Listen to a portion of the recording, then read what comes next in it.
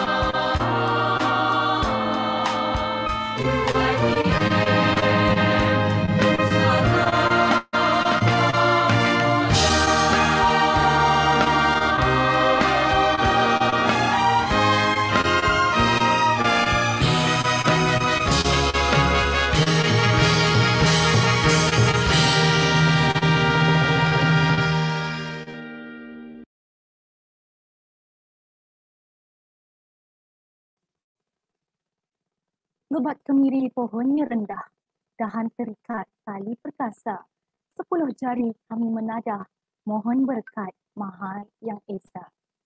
Bagi memberkati majlis kita pada petang ini, saya menjemput saudara Anip Nabil Johar bagi memimpin bacaan doa. Dipersilakan.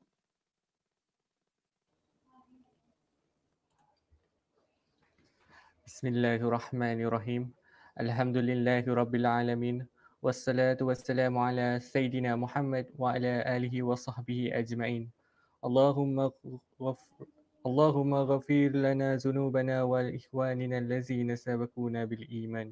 La taj'al fi kulubina ghillan lillazina amanu. Rabbana innaka rabbufur rahim. Ya Allah, Ya Rahman, Ya Rahim. Sesungguhnya kami berhimpun pada hari ini bagi melahirkan rasa kesyukuran di atas kurniaanmu yang tidak ternilai. Jadikanlah kami hamba-hambamu yang sentiasa bersyukur di atas nikmat yang melimpah ruah kepada kami. Ya Fattahu Ya Alim, sesungguhnya engkau maha mengetahui bahawa kami di sini ingin menimba ilmu-Mu yang sangat luas bagi mengembangkan potensi kami sebagai hamba-Mu yang engkau redai.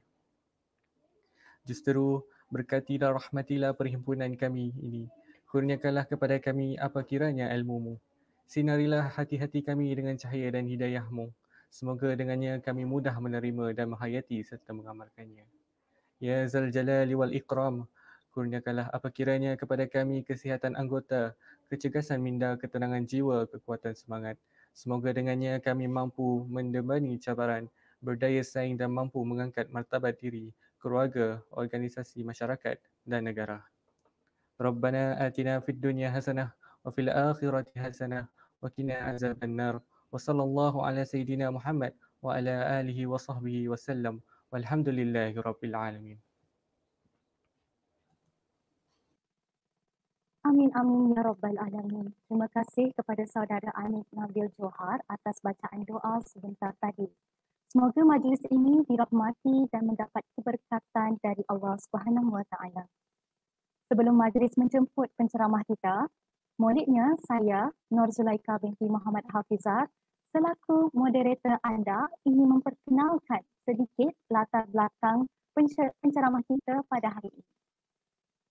Penceramah kita pada hari ini merupakan koordinator EMBA NBBA dan berkelulusan Bachelor of Business Administration di University Putra Malaysia Serdang Selangor pada tahun 1999.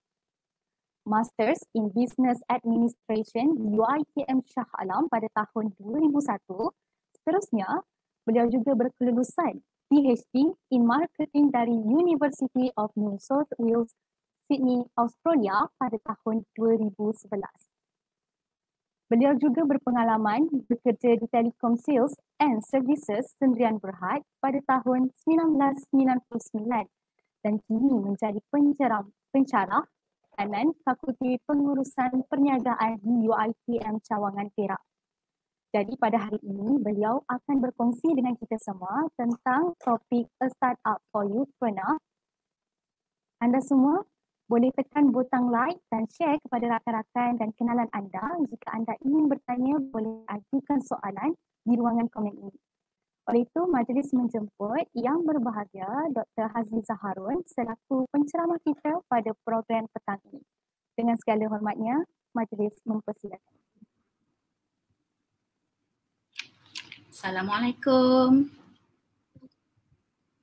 Waalaikumsalam. Sihat, ya. Doktor? Sihat, Alhamdulillah. Thank you, ya, moderator. Miss Nur Zulaika for uh, being the moderator today and thank you to unit uh, keusahawanan ya um, uh, entrepreneurship walkabout too ya for inviting me for this uh, webinar. Shall I start now ke macam mana? Ya boleh, boleh. Doktor boleh kongsikan. Um, Share screen ya. Okay.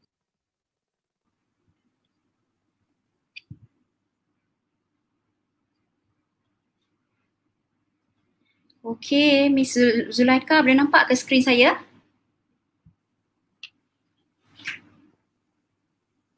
Belum.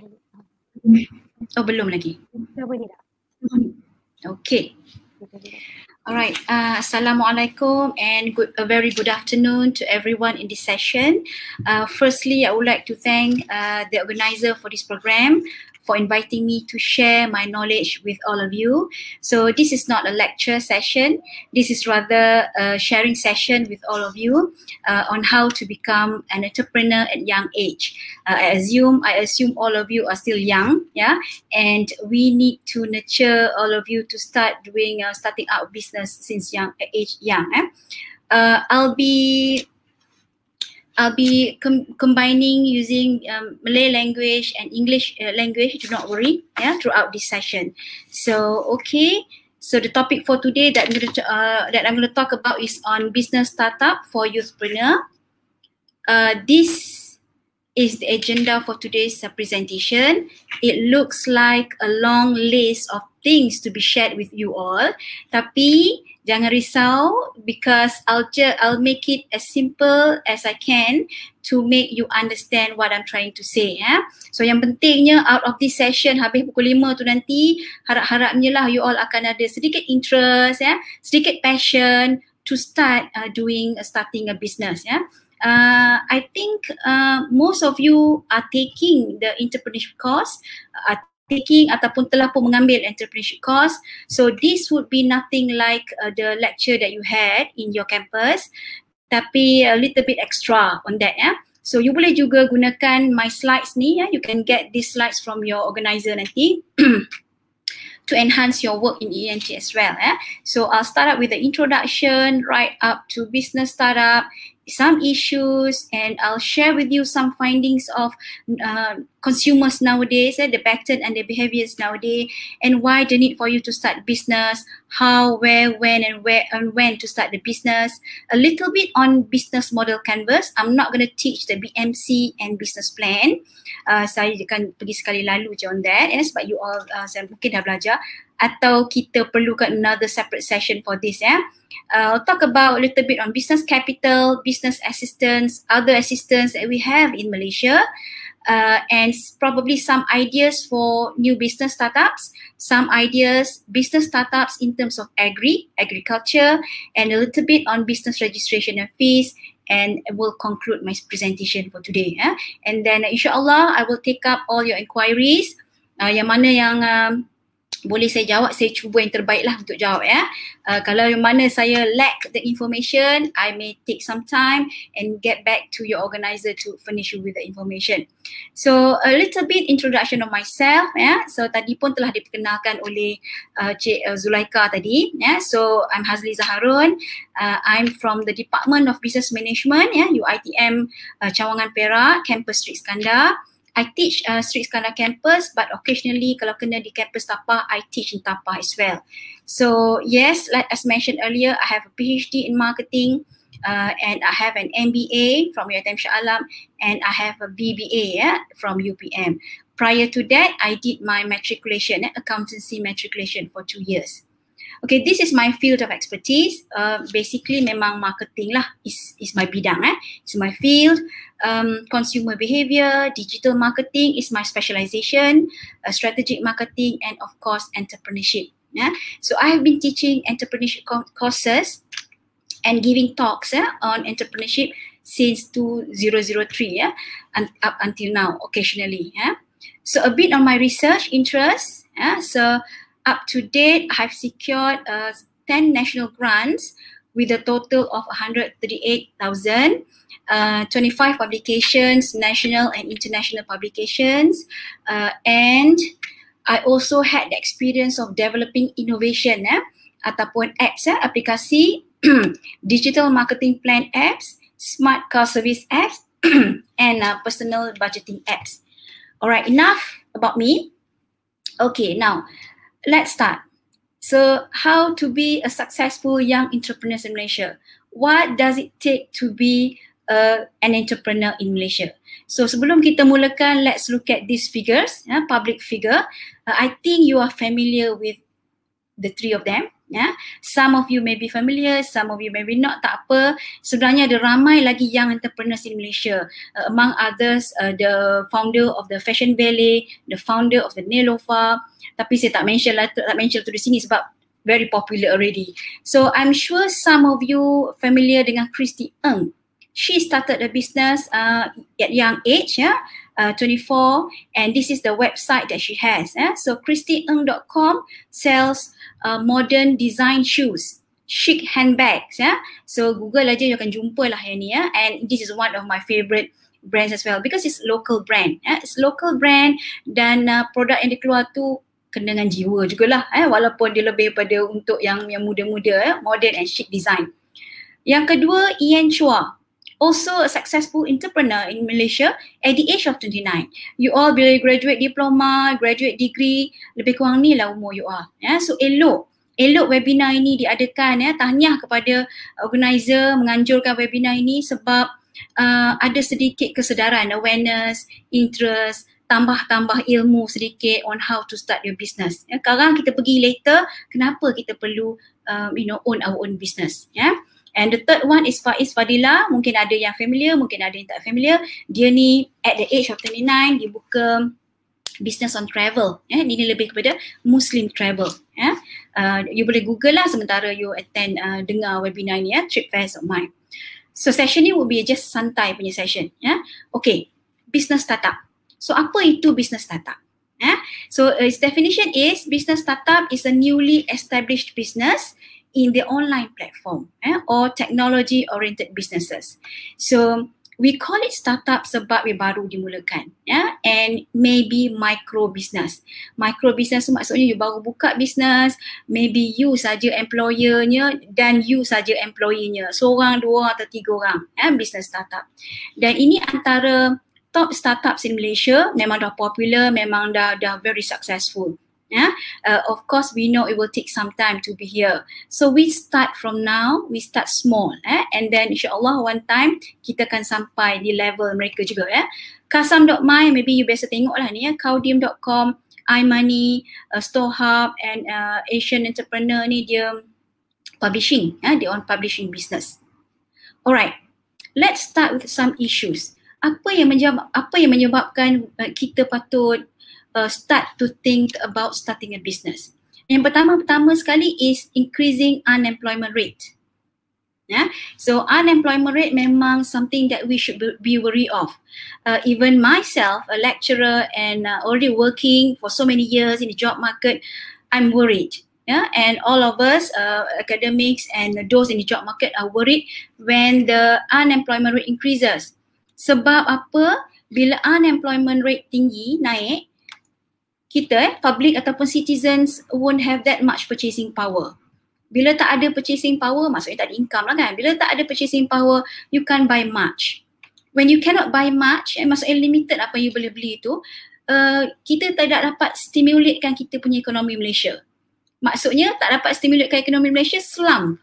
Slump kita punya ekonomi, very slow kan jadi itu yang sebenarnya kita sedang hadapi masa pandemik sekarang ni ya and we can see that uh, from 3.38% of unemployment rate 2020 naik eh, kepada 4.9% in January 2021 ini January and we already June eh, mid of um, mid of uh, uh, year eh, mid of the year. Ada tak tahu yang daripada January tu sampai sekarang tak berapa eh, kita tak tahu lagi statistik tu. Okay, so this is worrying, nampak sikit kat situ tapi this is worrying. Pandemic doesn't seems to be over just yet.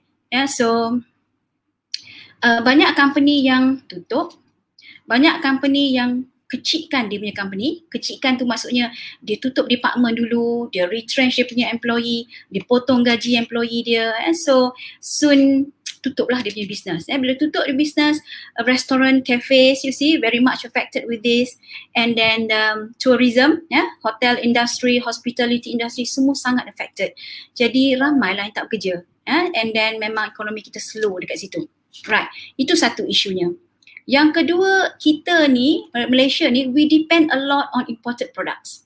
These are just few examples. Few examples that uh, the products that we import a lot yeah electrical electronics chemicals petroleum soybeans food dairy products fruits even ya jadi dengan uh, tengok eh dengan uh, pandemic affecting us affecting the world uh, since 2020 or maybe 2019 tu kita tak boleh nak ada aktiviti import export ya. Yeah? very limited. Border ditutup ya. Logistik bermasalah. Jadi bila kita terlalu depend kepada imported products bila masalah macam ni berlaku we we de- depend on what we have in Malaysia So what we have in Malaysia is very limited because we used to import things, right? Jadi bila limited barang dalam Malaysia, that means demand lebih daripada supply. Bila li- demand lebih daripada supply, you know what will happen? What will happen? Harga naik harga naik dah lah dengan employee employee di sini gaji kena potong tak tak berapa ada kerja jadi uh, ekonomi tu tidak berkembang eh, di Malaysia so those are affecting all of us eh so a point here that I would like to attract your attention is uh, there has been a shift uh, in preference uh, in the job market telah ramai prefer to be self-employed rather than working for others. Uh, 2016 ini data sehingga 2019 ya. 2016 15.6% of the population uh, are, uh, are self-employed uh, uh, increased to uh, 17.3% in 2019. Actually this is good sebab self-employed maksudnya dia buka dia ada bisnes sendiri. Dia ada bisnes sendiri, dia generate dia punya income sendiri. Now, apa baiknya self-employment yang kita nak promote kepada you all young, young generations to start the business? Satu, you can accumulate wealth. Kita tahu one of the sources for us to gain wealth is via business. You tengoklah rumah banglo kat sana, kat luar sana yang memang besar dan banglo. Um, bumi putra eh, mungkin non bumi lah yang banyak eh, because non bumi yang banyak involved in businesses ya. So uh, apa ni bila ada ramai self employed dia orang ada wealth ah great they create greater wealth for themselves for their family jangan lupa adanya pekerjaan. Ya, dia ada banyak katalah 100 antara you all ni 100 buka bisnes dalam masa 3 tahun lagi. So kita ada 3 small business uh, 3 uh, 100 businesses in 3 years time. So these 100 businesses creates so many job, ya, job opportunity secara tak langsung membantu uh, employment dan membantu negara uh, indirectly. Okay, so these are just some issues, banyak lagi isu lain. So you tengok daripada 1999, these are just some statistics to show the unemployment rate in Malaysia.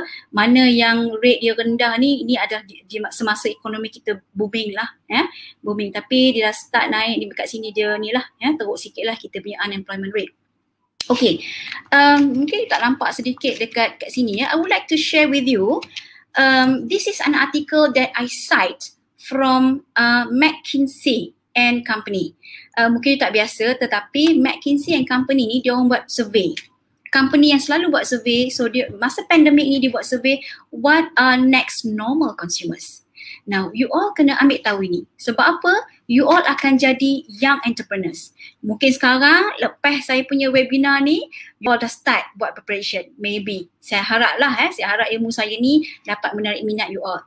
Baik, so in one day time, entah-entah you nak buka bisnes. Jadi you need to know next normal consumers ni, apa habit dia orang?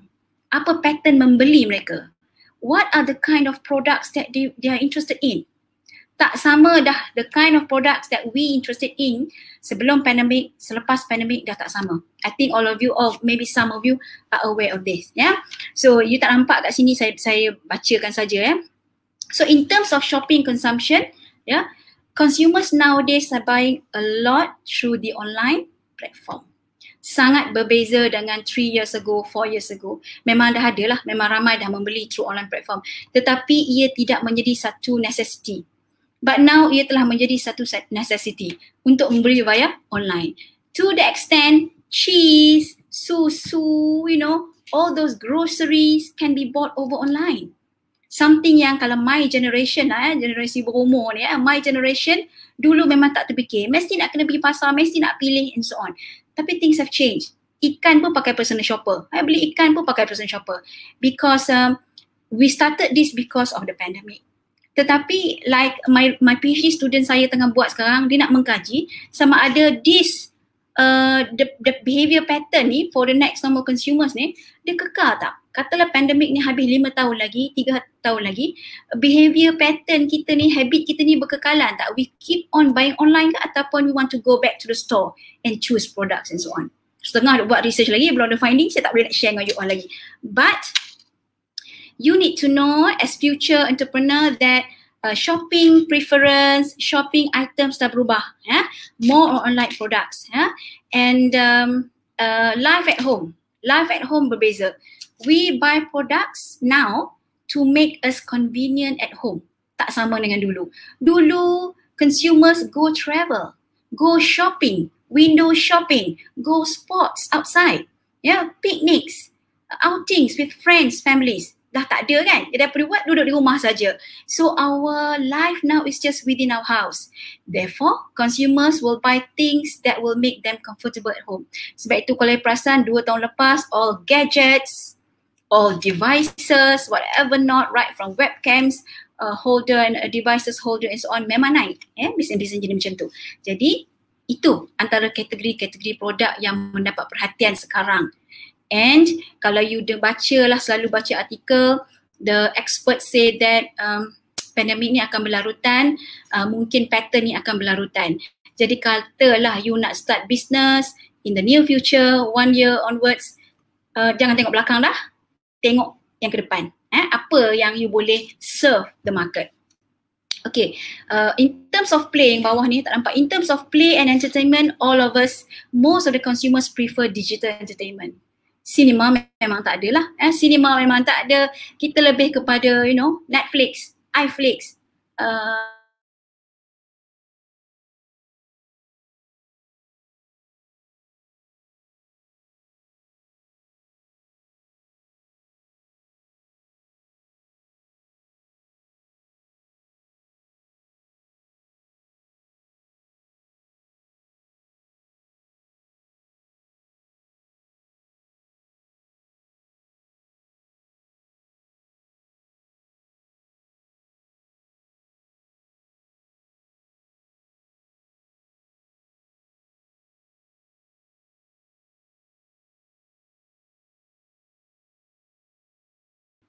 to to cycle and everything bring all them in.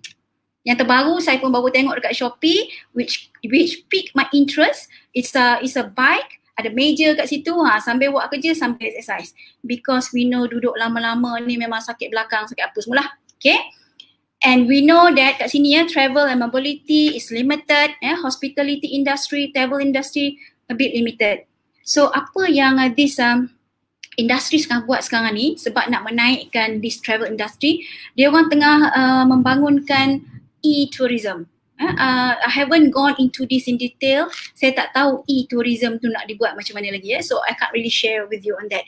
So communications and information has been very important yeah communication its platform the the information and the devices related to it has been very important luckily eh, sejak kita IR Industrial Relation 4.0 memang kita dah ke arah uh, artificial intelligence, big data, internet of things. Yang ni sebelum pandemik tau, 4 tahun lebih gitulah kan. Sebelum pandemik kita negara kita the world has been has shift towards that industrial uh, revolution 4.0. IR 4.0 ni apa? Lebih kepada Internet of Things, Big Data, Artificial Intelligence and uh, Virtual Reality So bagus, dia kenalah pula sampai ke tahun 2019, pandemik memang kita pergunakan sangat this platform and technology. Ya, dan ia akan berterusan lah. Ya. So kat sini learning and work has been on remote. So, kenapa you kena tahu? Ha, you kena tahu sebab you tengok kategori-kategori industri ni. All these are industry. Cuba tengok which of this industry yang pique your interest. Yang kena dengan minat you. Kena dengan you punya kepakaran. Not, not really kepakaran lah. You punya kemampuan. Kemampuan untuk produce products. Kemampuan untuk produce ideas to create products in that area. Fokus di sini. Eh, jangan uh, not so much on cosmetics. Probably clothing tudung and all that. Um, textiles yeah uh, probably not so much on that now yeah so you kena fokus kat sini so uh, kalau kalau clothing memang dah sangat saturated Now, restaurant and cafe ataupun uh, food and beverage business sangat saturated. Tetapi, eh, uh, consumer sekarang eh, dia ada habit of apa orang kata buying on buying in, eh, buying in, ya, yeah, food panda delivery services like that. So, um, still significant, yeah, food and beverage still significant. Okay, moving on to this one.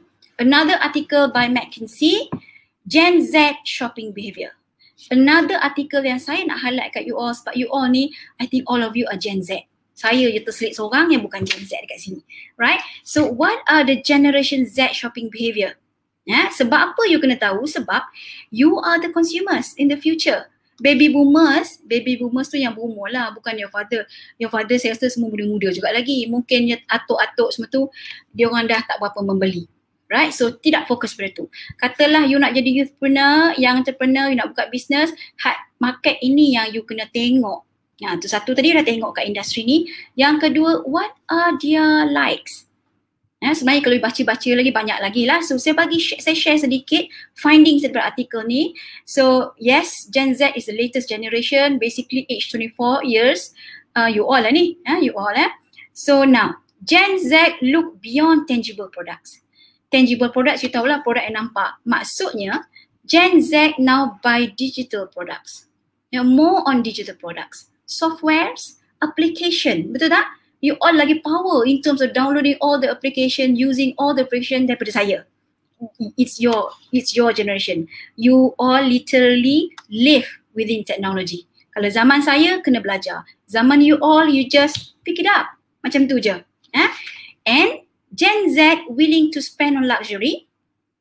Ya, yeah, saya rasa ya. Yeah that you don't you don't really mind eh, produk tu as long it fit what you want you don't really mind kalau produk tu RM87 ataupun kalau kat luar mungkin RM20 gitulah eh uh, Gen Z prefer items that make them look unique and different rather than slapping brands on them So beza zaman dulu. Kalau dulu tu dia terbesar-besar. Apa tu?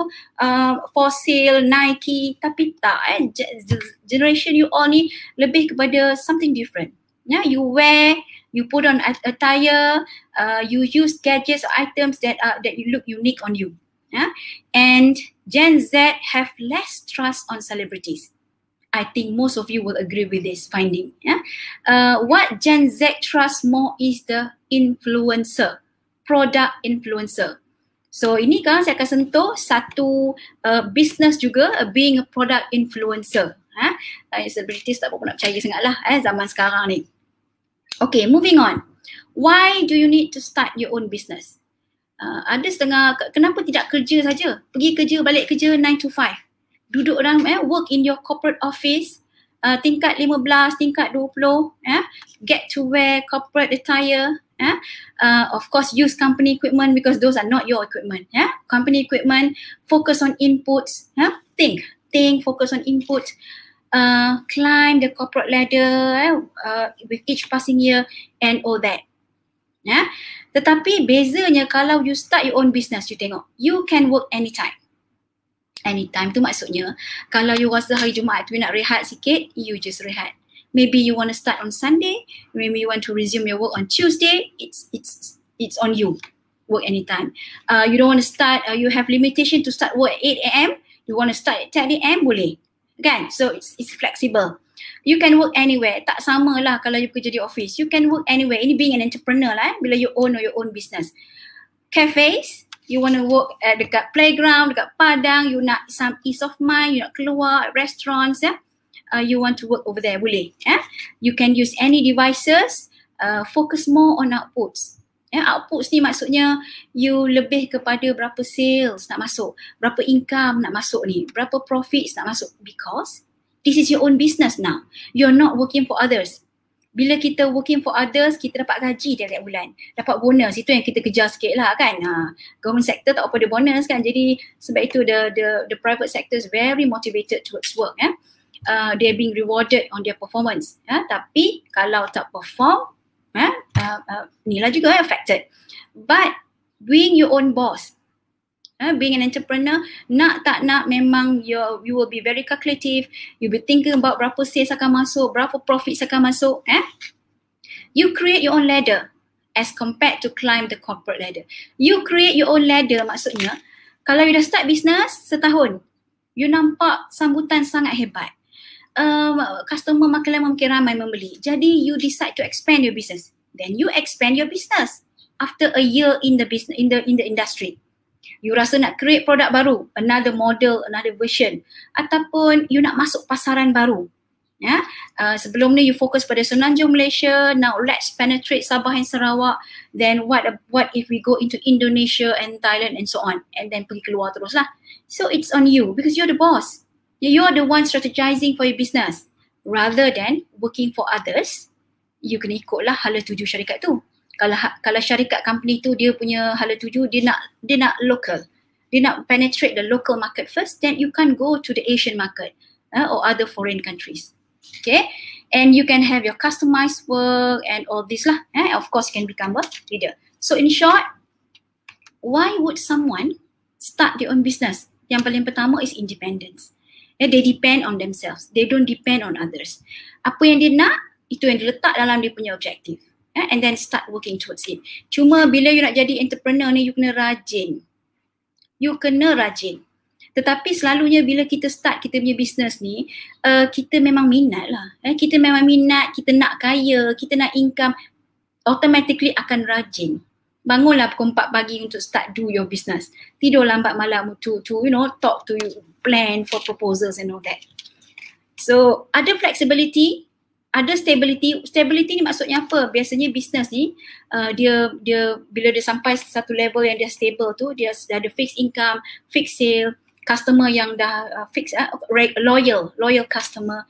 Jadi dia punya business income profit quite stable lah. Eh? Uh, uh, and then uh, of course opportunity for innovation. Ya, kalau you kerja dengan company, you will be following the direction of the company.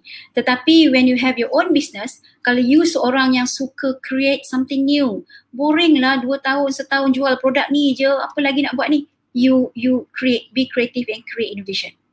Ya, mana mana tahu boleh hit, ya, boleh jadi boom pula. So basically you make your own decision. Okay now, so where to start? Eh? Where to start? Uh, this is just simple tips. Kalau you baca-baca kat artikel lain banyak lagi. Yes, just some some of the tips I can share with you. One of it, always begin with an end to mind. Uh, saya suka macam ni. Apa projek yang saya buat, uh, let's say I'm in my career now, you have to have an end in mind. An end to the mind maksudnya apa? You start business ni tiga tahun lagi, apa jadi kat business tu? Lima tahun lagi, apa apa you bayang jadi kat business you? Contoh, I'm a lecturer, let's say in 10 years time, 5 years time, saya duduk di mana. Then only when you have that end in mind, barulah you jalan gerak ke arah itu. So let's say, okay, baru nak mula, baru nak mula, baru nak apa-apa, you dua orang je partner start the business kan. Jadi jangan nampak sekarang yang teruk. You bayangkan you dua orang partners ni, five years later, what will happen? Uh, dah tentu you nak berkembang, you dah sustain business, entah-entah dah ada branch, entah-entah dah ada employee ramai ya uh, dan you boleh membantu Bumi Putra by giving them jobs ya giving them income. Buat pahala tu business ya buat pahala tu sama kat situ. Okay. Get an accurate picture of your finances. Orang kata be realistic. Memanglah nak buka bisnes ada ke modalnya? Ada ke duitnya? Uh, memang selalu macam tu eh. Kita nak ni lah nak buka ada idea ni nak buat produk saya boleh design lah kata boleh design so on tapi mana cari duit modal? So maksudnya self check dululah. Eh self check diri kita ada duit ke tidak ada simpanan ke tidak and so on. Kalau rasa tak cukup save up dulu find ways to make more money first save up the money before getting started. Sebab apa you kena ada save some money before getting started? True you akan ada uh, apa ni modal yang terkumpul. Katalah you ada tiga orang partner, tiga-tiga orang keluarkan modal. Cukup untuk start kick off that business betul. Tetapi you tak tahu tiga bulan you masuk pasaran dengan produk you tu sangat boom. Bila boom demand tinggi. Bila demand tinggi you kena produce a whole lot of products volume. Hundreds maybe thousands. Kan? And then mana dapat modal? Kan nak beli bahan mentah apa semua tu. So nak tak nak memang kena ada finance simpan juga eh. So it's good again eh. It's good this kind of webinar. You boleh pelan-pelan eh. Plan eh for the future. So tu dia. Start with planning and have foundations. Planning, you know what planning is. Foundation tu maksudnya katalah you all, saya, saya tak pasti bidang you all bidang apa. Sama ada most of you bidang business ataupun you datang daripada uh, FSPU, arts and design, accounting, tak apa. Have that business knowledge in you. So daripada sekarang, build a foundation. Ya, kenal pasti siapa rakan-rakan yang you rasa boleh jadi partner. Kenal pasti sumber-sumber yang you boleh pinjam modal. Dan kenal pasti apa lagi ilmu yang tak cukup nak start business. Invest in yourself. Maksudnya go for training. Seek knowledge. Keluar duit sikit lah. Memang kena keluar duit sikit. Ya? Invest in yourself. Rasa tak cukup ni lah. Kata entrepreneurship course saya memang tak cukup lah kan. Pergi belajar on accounting Pergi belajar on information technology for example. Invest in yourself. Jangan orang kata jangan kedekut untuk mendapatkan ilmu. Jangan kedekut untuk mendapatkan ilmu. If you have to buy books, if you have to if you have to pay to go for that training buat sebab itu semua jadi human capital. Benda tak nampak tapi semua simpan kat sini. Ha? And then you execute the service yourself. Normally when you start the business, um, kita tak terus lah upah-upah orang buat kerja. Kita buat semua tu dulu we are the ones who will look who will need to look for suppliers we are the one who will need to do the marketing buat dulu produk tu kalau you nak buka cafe you need to know how to cook first eh sebelum you nak hire others ya yeah? okay that's how it's how you begin your business eh sambung sedikit ni ni saya dah cerita sikit tadi ya seek for knowledge Uh, of course, you dah belajar ENT, read, read and read. Yeah? uh, self-check on your own entrepreneurship competencies. Uh, I, I think you all know what entrepreneurship competencies are. Among others, eh, you kena ada lah sedikit kecekalan, risk taker, able to make decision, ya, uh, dan macam-macam lagi kan. You know what entrepreneurship competencies are. Nak tak nak you kena ada benda tu lah. Jadi sepanjang you belajar kat diploma ni ataupun mungkin ada degree students or maybe you are working, orang kata asah, asah skill-skill tu yang you akan guna presentation convincing people negotiating people you will do lots of presenting presentation and negotiating kat mana you belajar itulah dalam you punya oh your course coursework tu kan? Complain selalu kan? Asyik presentation lah plus asyik presentation. Tak it's not that sebenarnya. It's actually you asah you punya skill tu. Ni uh, apa ni? Zulaika and then the leader for this uh, project uh, Nurul Farhana yang jadi liaison person. Jadi itu sebenarnya bukan kerja tambahan. Selain buat ada pahala bukan kerja tambahan. Tapi sebenarnya you gain. You sim- you dapat semua-semua ilmu tu pada you. Alright next.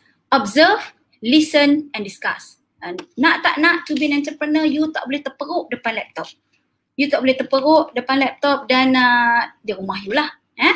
so you have to go out and observe go to supermarket bukan membeli sesaja eh katalah you ada minat go to supermarket look at the shelves apa produk yang banyak ada. Uh, you masuk hardware punya department, you masuk clothing punya department, you masuk supermarket punya department, you observe. Eh, mana produk yang uh, yang selalu dibeli and so on. Okay, and then you listen, uh, talk, eh, listen and discuss, you talk to others. For example, you cakap dengan you punya lecturer, your parents, uh, and then um, siapa-siapa businessman, eh, businessman, business person yang you kenal, bersembang uh, if you had the experience of doing case study zaman zaman online ni you tak tak interview. You just seek for information online. Tapi masa face to face class dulu students memang keluar interview. That was very good experience for you all lah sebenarnya itu. Keluar interview business owner apa masalah and so on. So dia akan bagi banyak input lah eh? and then prepare business model canvas. Uh, I think uh, some of you are familiar with the BMC nak tak nak starting a business kena tahu BMC but I'm, uh, I'm not going to teach you on this ya. Uh, panjang ceritanya itu another session on that. Prepare business plan. All of you know what business plan is. Seek for financial assistance. There are various assistance yang ada di Malaysia yang kita akan tengok sekarang. Ya. Banyak-banyaklah sourcesnya. Sebab bukan semestinya kita buka bisnes ni. You all young kan. Diploma lagi kan. Belum graduate pun. Mana dapat modal. Memang tidak semestinya eh tidak semestinya nak kena duit kita. Ada ada sumber-sumber yang boleh membantu young entrepreneur to start their business. Register your business and then once you're registered you've got your SSM number uh, commercialize and run your business. Nampak senang kan? Tetapi you buat you buat you kena buat. For you to learn you kena jalankan perniagaan itu. Okay? When to start? Selepas habis diploma tengah-tengah diploma, tengah-tengah ada ODL ni boring sangatlah kan menghadap laptop ni. Actually there is never too early or never too late to start a business. Ya. Orang kata kalau tak cuba memang tak tahu. So start small. Start small. Eh. Don't pump in your capital terlalu banyak lah for you yang masih muda, masih nak berjinak, nak belajar selok-belok perniagaan tu, you will have to learn a lot. Uh, banyak yang you boleh belajar through webinar macam saya bagi ni tetapi you will learn a lot more by experiencing it. Eh, so try sekali dulu by being a dropshipper, by being an agent, uh, try masuk Shopee selling products, walaupun just agent saja dulu and you will have that that apa ni that the feeling lah. Eh macam mana kita buat bisnes macam ni? Macam mana kita ambil order customer uh, apa ni uh, buat systematically pula uh, uh, orders and all that that you will learn. And then you'll be ready yeah to start your own company okay how to proceed of course you have to have your product ideas okay so mana kita nak dapat product ideas ni uh, macam tadi lah, you observe, you observe, you listen and then you tengok tadi artikel-artikel yang saya bagi tadi tu and then try to come up with product ideas. You are young uh, consumers yourself, kalau you as a consumer, apa dia produk yang you rasa uh, penting lah pada you, apa dia produk yang you rasa akan berguna. Eh? Okay, have that product ideas. Now, boleh saja you start perniagaan menjadi agent dropship. Eh? To start, just to have the experience. Tetapi if you want to be a true entrepreneur and you want to be different, a true entrepreneur they want to sell something that's different from others. Different tu bukanlah terlalu novelty, bukanlah produk yang pelik-pelik sangat, tak. Different means the product uh, the product is useful to certain community. Ya, kalau produk idea yang you keluarkan tu memang berguna, ada market yang nak, jalan. Dia akan jalan. Ya, so ini pun you akan kena belajar lah satu on marketing, on product idea, business opportunity kat situ. Once you have product ideas, register your business at SSM. Ya, register your business and then you proceed with the implementation. Ya, implementation of business. Alright. Now, this is about business model canvas. Uh, uh, like I told you, I won't be talking about talking much about business model canvas. Just a bit. Sekali lalu mungkin ada yang belum belum belajar on business model canvas.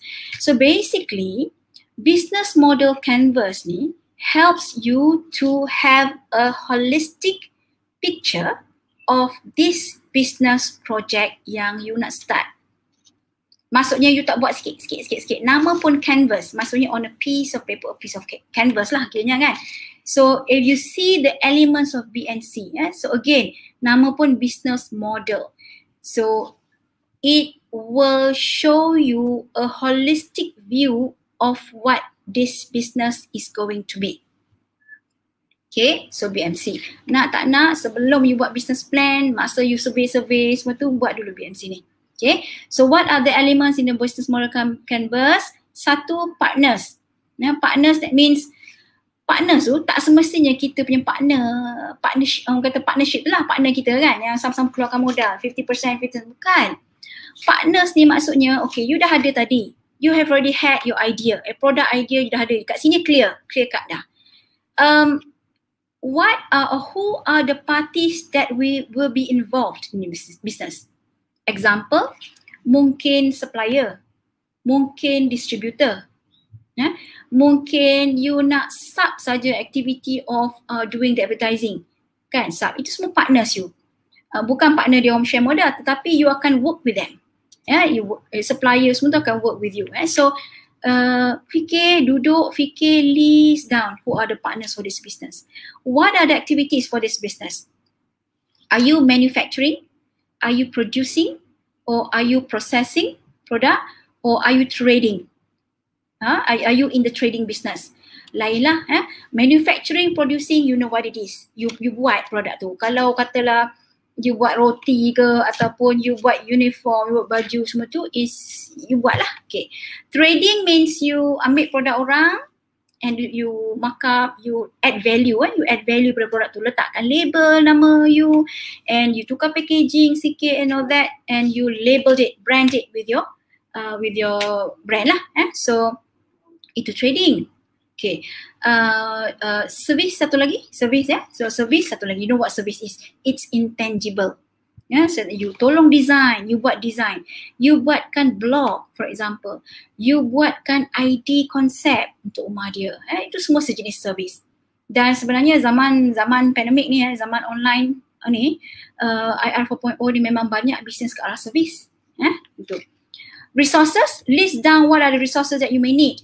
Resources, you know, raw materials, machines, softwares kalau perlu. Of course, financial.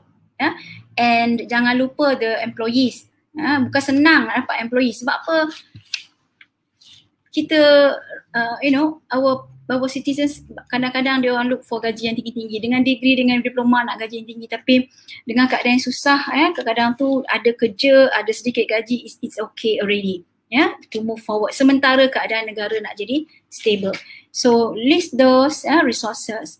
Okay next is value proposition value proposition ini sangatlah related dengan your idea your product idea. So you kena tahu ini. Produk yang you nak jual tu di zaman you yang entrepreneur ke di zaman you lah di zaman you sekarang ni akan datang eh apa je uniquenessnya? Apa dia value yang you nak bagi pada customer? Ha? Uh, what is so special about this product? Yeah if uh, they you want to create special pen others have pen as well. So what's so unique about this one? Yeah if you are you are you keluarkan produk yang 3 in 1 4 in 1 5 in 1 in a sachet for example okay what is the value that you propose di situ? Itu maksudnya value. It comes from the word value that you want to propose to your customer. Bila dia orang terima they will buy your product. Jadi sebelum pun nak beli produk you you have to be clear first on the value of your product uh, this is customer relationships uh, have out, uh, outline some uh, some strategy yeah, on how to uh, create good relationship with customer Okay, business relationship lah eh, customer business relationship. Customer relationship ni nampak simple tapi dia sangat efektif dan sangat influence your business. If customers are satisfied, they will repeat buy. When they repeat buy your products, you have your regular customer and soon they will be loyal customer. When they are your loyal customer, this mungkin kalau ada sedikit hiccups in your in your offering, kan, they will still they will still come and buy yeah, because they are loyal to your brands already. So penting and nak capai level yang ada customer relationship ni memang you can invest. You can invest. You show them that they are valuable to you, you jaga you punya customer. Okay. So bukannya semestinya setelah you stable ya, lima tahun, uh, empat tahun semua tu baru nak buka. Tak, daripada awal plan lah what would be your uh, customer relationship strategy. Channels are uh, channels uh, distribution lah. Eh? How do you plan to distribute your product? Kena, kena. Eh? Sebab apa? Channels distribution ni nampak simple tetapi dia akan determine macam mana produk you akan sampai kat customer. Zaman you ni, eh, like I said, banyak online. Dan online banyak platform. Eh? Banyak. Selain pada you create blogs, blog dah lama lah. Website, ambil website. Facebook, Instagram, Twitter, uh, WhatsApp uh, WhatsApp. WhatsApp is is now being used um, uh, extensively in marketing products. Yeah? uh, even myself, uh, saya selalu pergi dermalogical untuk facial and then what else? Padini, yeah? and then uh, baru-baru ni saya terima iklan on apa tak? Produk-produk yang ada di Aeon Station 18 tu, dia dia selling dia products via Sheins, ha, Sheins.my tu. WhatsApp dia sekarang because we can't go, customers can't go to the shop. Macam nak jalan bisnesnya. Bila tak jalan, tak dapat income. Jadi, plan for channel. Dan I think generasi you all ni memang lebih kepada online lah, online channel lah. And, and uh, mungkin lebih murah lah daripada buka kedai eh, brick and mortar. Identify customer segments. Customer segments is basically customers. Who are your customers? Be clear who are your customers. Yeah? And then of course you need to know your cost and you need to know your revenue streams. So kalau you tengok you dah buat ni memanglah you mungkin ambil masa dalam lama lah kata. Katalah seminggu, dua minggu, sebulan. But once you see up, you punya real, a real business model canvas for your business, you tengok aja maksudnya everything is being put in the puzzle. The puzzle is complete. Ya, tinggal lagi you nak kena apa kata uh, telitikan lagi lah. Ya, tapi you have things in place already.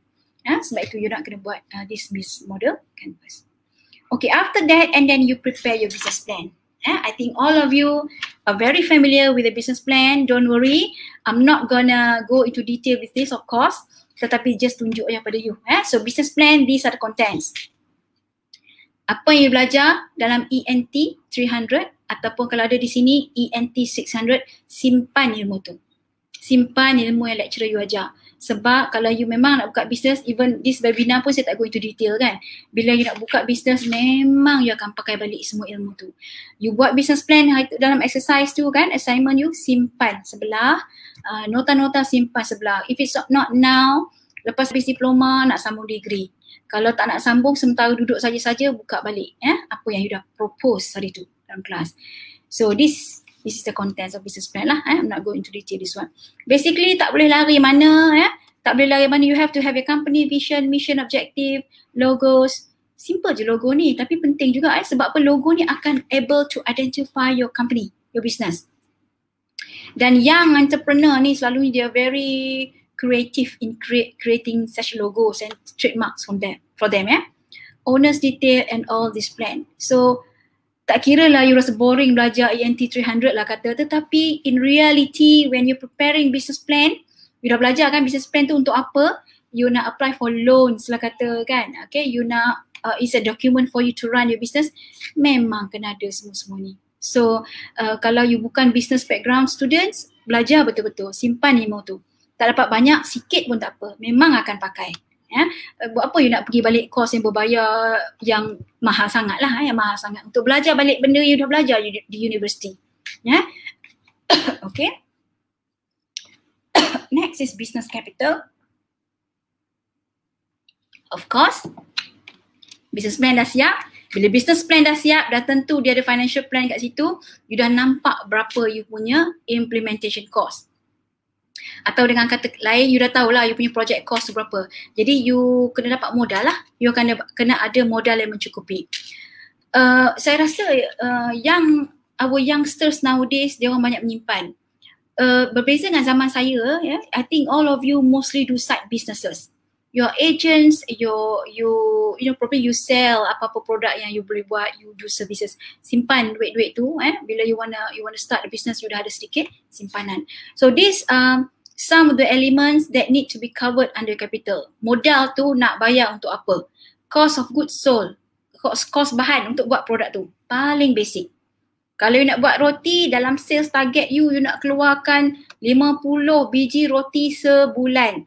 Paling-paling tidak modal you kena cover untuk 50 biji roti sebulan. Sebab you tak tahu sales you akan masuk cukup masuk ke tidak kan untuk cover. Depend also capital you kepada uh, based on the technology that you're going to use. Yeah, are you going to use certain apps? Are you going to use certain machines to run your business? So when if you have if you intend to do to use a high tech machine mahal lagi capital tu. Ya, tetapi machine ini dia membantu percepatkan running your business rather than katalah packaging kan. Packaging lekat stiker tutup botol, tutup botol manually kan yang you ambil masa berhari-hari untuk siap ataupun pagi ke malam nak siap guna mesin berapa jam dah siap. Jadi terpaksa lah invest. Kalau benda yang terpaksa invest, masukkan dalam cost capital cost modal itu. Eh, kena masukkan. And uh, you know, you need to know operations management you lah. Eh, berapa banyak tadi saya kata, berapa banyak machines nak beli. Cukup ke satu mixer tu je untuk keluarkan 50 biji roti sebulan? So you need to do some planning. Benda yang belajar lah dalam business plan. Uh, you need to have knowledge on the sales marketing. Uh, capital you akan cover sales and marketing cost as well ya. Di awal perniagaan memang you kena kena apa? Kena invest a lot lah dekat marketing and sales. Sebab orang tak kenal lagi nama company you.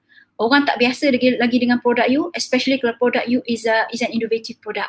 Innovative tu maksudnya new lah. New way of doing things new usage new benefit. Jadi you nak promo kan tu banyak duit nak pakai ya.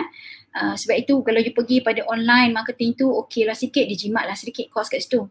And of course capital you kena cover the wages and salary of your employee. Employee kalau tengok gaji kecil sangat pula sekarang dia tak nak kerja kat tempat you. Nak dapat pekerja pun bukan senang sebenarnya. Ya. Yeah? Okay. Okay, these are some assistance uh, tadi untuk mendapat dapat mendapatkan assistance modal ataupun nak mendapat bantuan untuk memulakan perniagaan. Ya. Uh, yang paling biasa is this SME Corp. Uh, saya dah buka, saya saya harap you nampaklah website saya ni. Uh, this is SME Corp masuklah ke website ni, you tengok lots of information, policies dan ada banyak. You tengok ada banyak program-program, kalau you tak pernah masuk SME Corp, cuti-cuti semester esok buka lah.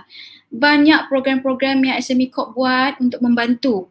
Untuk membantu entrepreneur yang baru nak mulakan perniagaan, membantu entrepreneur yang telah telah menjalankan perniagaan dan untuk membantu peniaga-peniaga yang nak expand their business. Banyak kategori eh jangan risau semua tu ada kat situ eh so i'm not going to go into this website cuma you tengoklah nanti eh so this is one of the source Yang kedua of course SSM.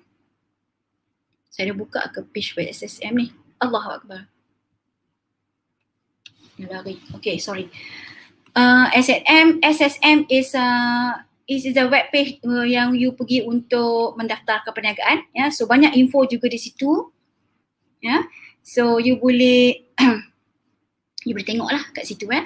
E easybusiness.ssm.com ini adalah page yang kalau you nak mendaftar perniagaan online je sekarang ni. Tak payah nak pergi keluar. Eh, online boleh. Uh, saya ada dokumen di sini. Ya, cara permohonan pendaftaran perniagaan baru. Kalau you nak ni nanti saya WhatsApp kepada organizer. Bacalah nanti ya. So uh, very detail. Uh, macam mana nak mendaftar perniagaan and everything. Semua ada. Ini lama punya lah ni ya. Okay. So it's via online je isikan form tu. Then you submit. Tunggu tunggu di reply pada you.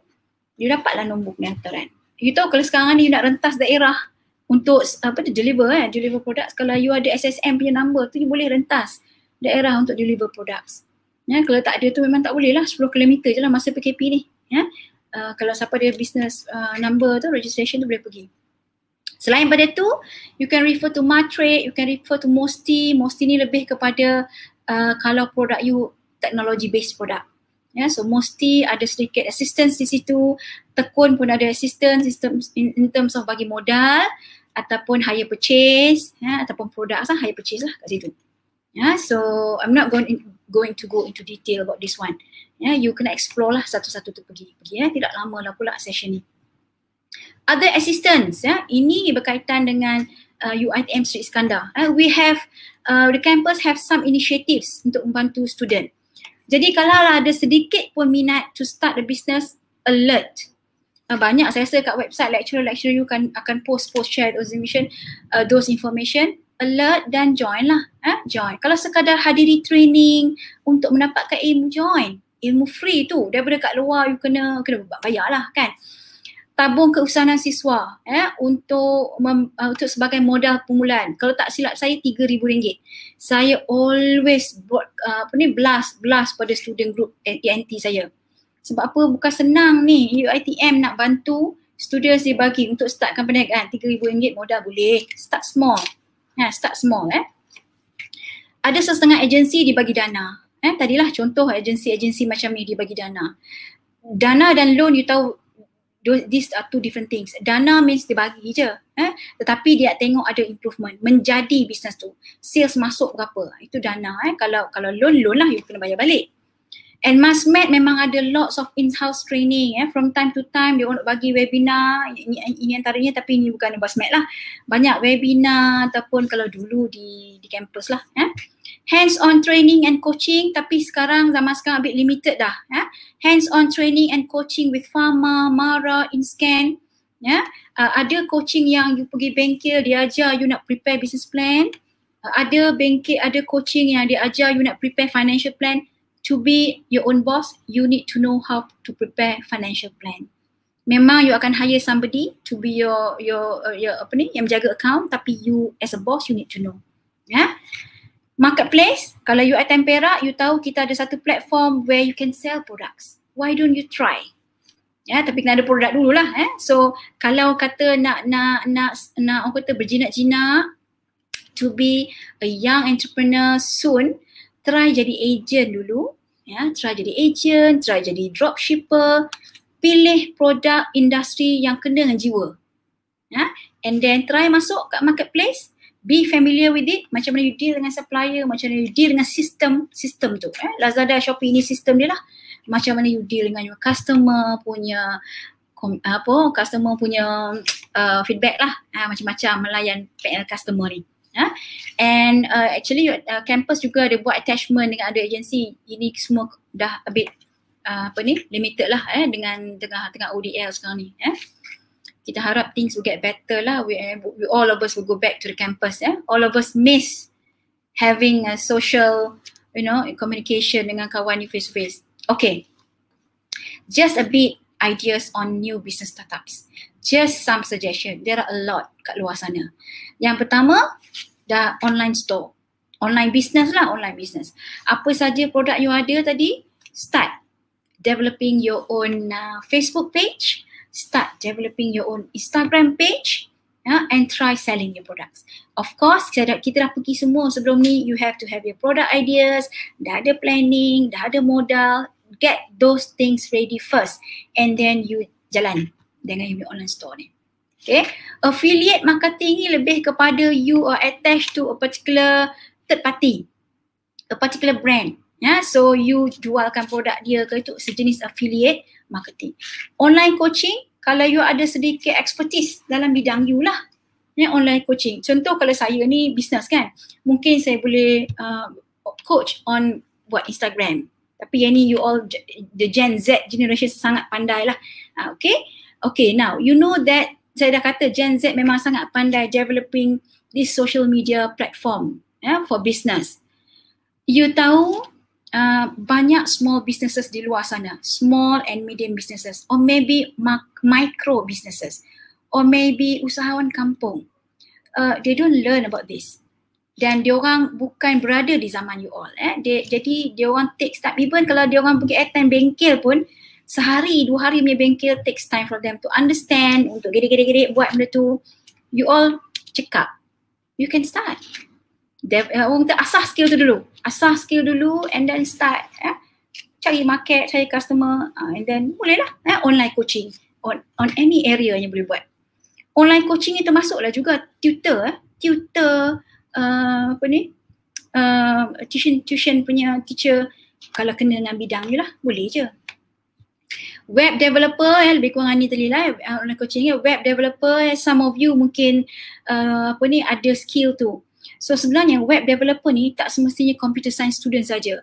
Ada setengah uh, students eh dia orang minat. Sambil-sambil duk belajar you akan selalu kena buat uh, apa ni presentations, graphics, kena buat video lah, belajar software tu, belajar tu. So you have the skills already.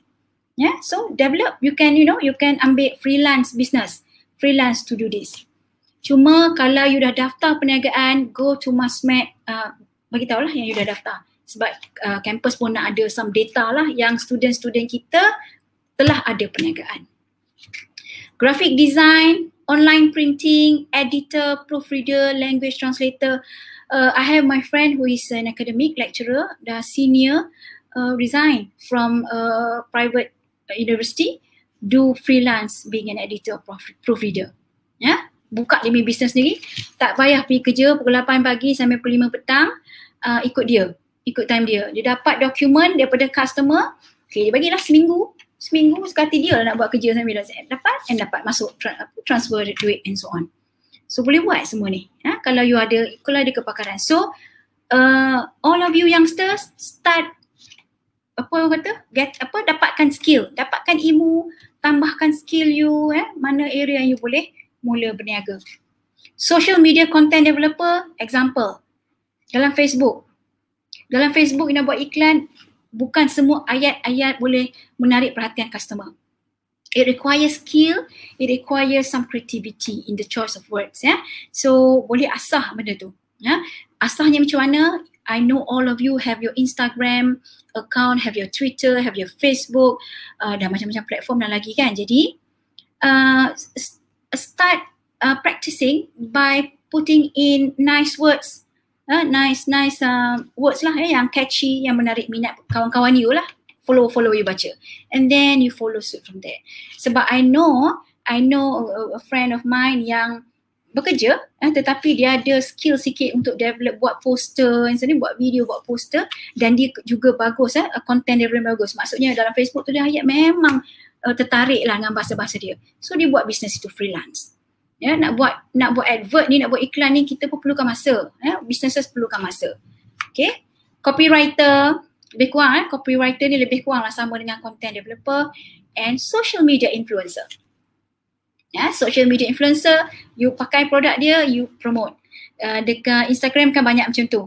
Ya uh, personal shopper ataupun memang social media influencer lah. You tengok pink stilettos yang satu lagi tu siapa? Syamimi uh, jadi ya mula-mula mungkin you sekadar share link share link share produk lama-lama why don't have an agreement Ha, use that product and then you promote about that product. Ha, boleh jana income lah tu boleh boleh buat. Okay, another perspective ideas for agribusiness. Ah, saya tak tahu you all berminat ke tidak, tetapi agribusiness or agriculture is um, starting to increase now. Uh, banyak groceries, uh, agriculture products are being sold online now. Uh, kita tak boleh pergi Cameron Highlands, jagung, strawberry Cameron Highlands sampai ke sini. Kan? So scones, eh, Cameron Highlands punya scones sampai ke sini boleh buat. Eh? So antara ideas, just some ideas, eh, depending on your minat. Eh? Saya rasa zaman sekarang the youngsters dia tak pandai, dia tak tak kisah dah uh, tentang agribusiness. Kalau dulu eh, satu masa youngsters tak minat dengan agriculture. Uh, tetapi I think more, most of you uh, apa ni bercucuk tanam lah sekarang eh uh, the skill tu. Mushroom example saja eh some idea saja. Organic food and vegetables, uh, hydroponic tak gunakan racun and all that. Farm machinery, yeah, farm machinery uh, all this uh, machine yang digunakan eh uh, equipment yang digunakan di di farm. Eh, sebab sepanjang dua tahun pandemik ni bisnes ni agak naik lah eh, bisnes fertilizer ataupun poultry farming. farming. Mungkin ada banyak lagi lah. Eh. This is just I'm throwing some ideas.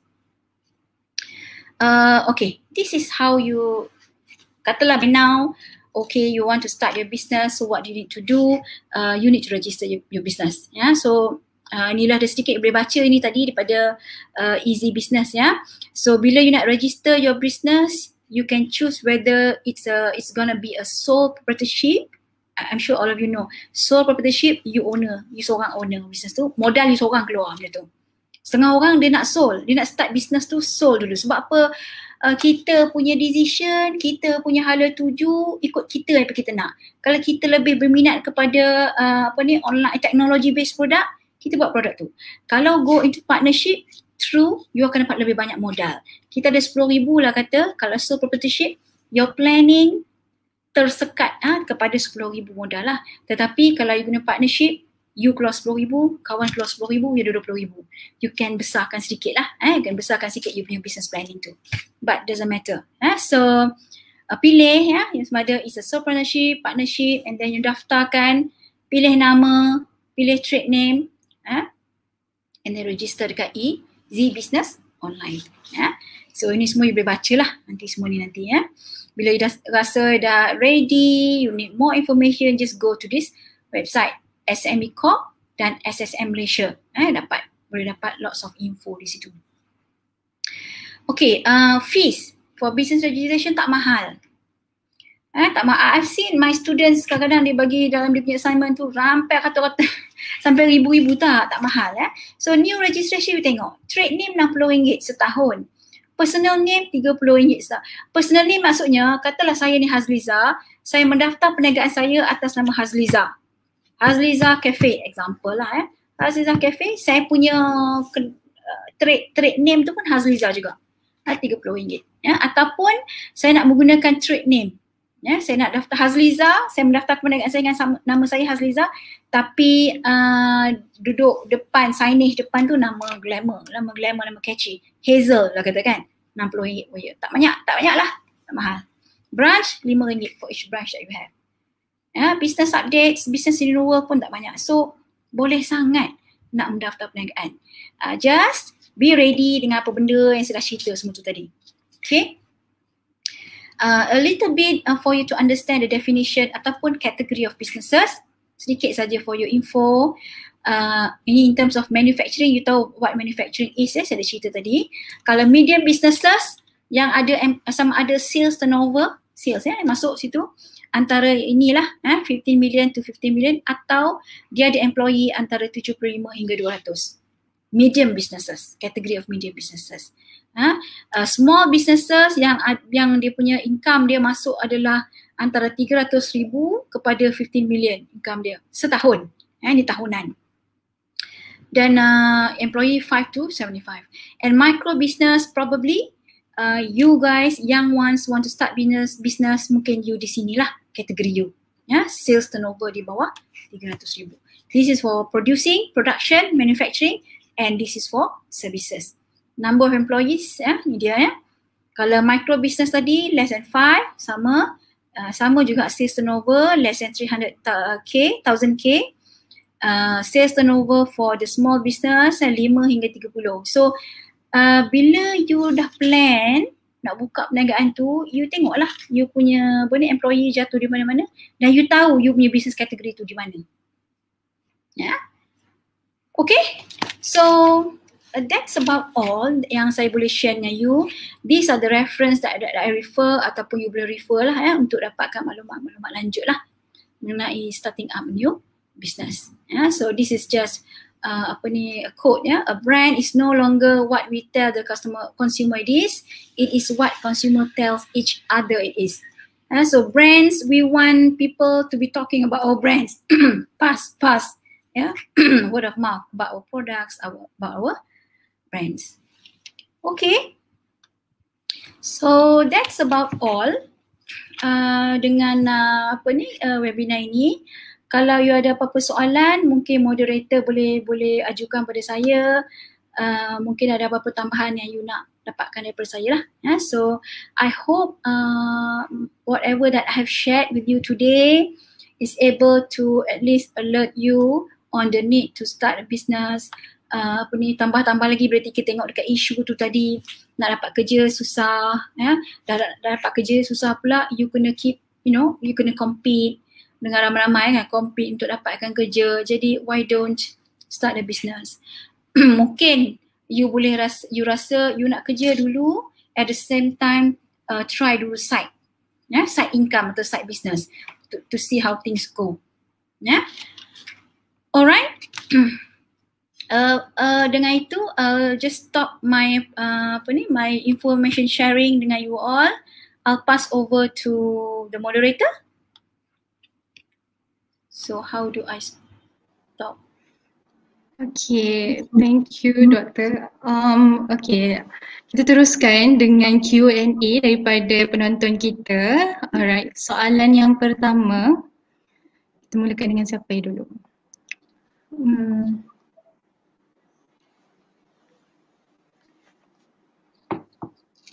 Alright, um, soalan daripada Aisyah Syafiqah.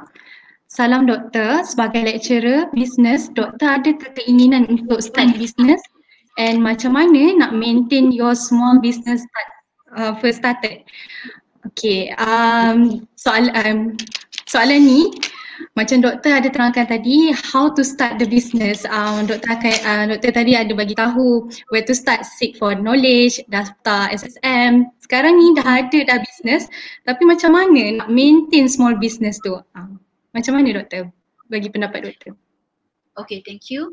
Uh, memang saya rasa semua business lecturers memang ada keinginan uh, untuk mulakan perniagaan. And in fact, I think ramai juga dah ada dia punya own perniagaan eh, yang dia mungkin dah berdaftar dengan UITM lah eh, untuk uh, bagikan data tu. As for myself, uh, I've started my business small. Yeah. Nak maintain perniagaan tu, I think one of the most contributing factor that makes any entrepreneur to maintain their business is you have that sales, you have that demand come to you always. Maksudnya you buat promotion, you buat marketing always, customer always seek or request for your product. Jadi katalah you ni tak lah, macam saya side business kan, saya lecturer, uh, saya buat roti sebenarnya ya, uh, roti homemade punya bakery kan, homemade punya bakery. Minat kat situ tetapi masa bekerja dia terkekang tetapi bila ada customer order, order kita jadi semangat untuk run that business. Pada mula saya mula perniagaan tu dia ambil ya semua order. Maksudnya berpuluh-puluh order satu hari. I started at 4 o'clock in the morning. 4 o'clock in the morning buat tapi saat kita minat kita buat kan? 4 o'clock in the morning bla bla bla pukul 8 ready to deliver because I need to do my work already kan? Uh, after few months memang uh, naik sebab people spread words and kita ni jarang nak jumpa yang homemade bread kan? Selalu kita pergi kedai beli bread yang homemade bread.